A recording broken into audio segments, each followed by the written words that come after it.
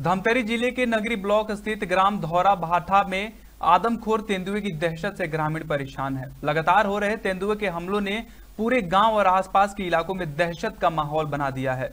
ग्रामीणों ने वन विभाग से तेंदुए को जल्दी पकड़कर कहीं और छोड़ने की मांग की है। शुक्रवार की शाम को तेंदुए ने गाँव धौरा भाठा में तीन वर्षीय मासूम बच्ची पर हमला कर उसकी जान ले ली।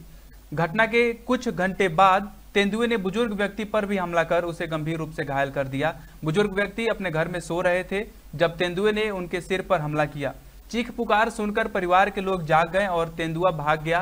वन विभाग की टीम ने स्थानीय गाँवों में लोगों को सतर्क रहने और अपने बच्चों और पालतू जानवरों को सुरक्षित घर के अंदर रखने का अलर्ट जारी किया है। साथ ही विभाग ने तेंदुए को पकड़ने के लिए जाल बिछाकर प्रयास शुरू कर दिया है, ताकि ग्रामीणों की सुरक्षा सुनिश्चित की जा सके।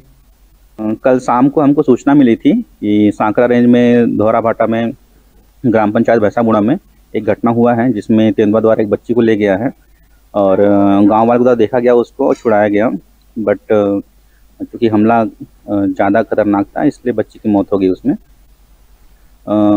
सूचना मिलने के बाद तत्काल वहाँ पे फॉरेस्ट विभाग की टीम पहुँची है, पुलिस विभाग को भी सूचित किया गया है और, पंचनामा तैयार करके बच्चे के शव को हॉस्पिटल में पोस्टमार्टम के लिए लाया गया है। हाँ इसमें मुआवजा का प्रकरण है तो जैसे पीएम वगैरह होगा, उसके साथ ही साथ हमारे द्वारा तात्पर्य सहायता राशि के रूप में पच्चीस हज़ार रुपये दिया जाएगा, और उसके पश्चात प्रकरण तैयार होने के बाद में छः लाख रुपये दिया जाएगा।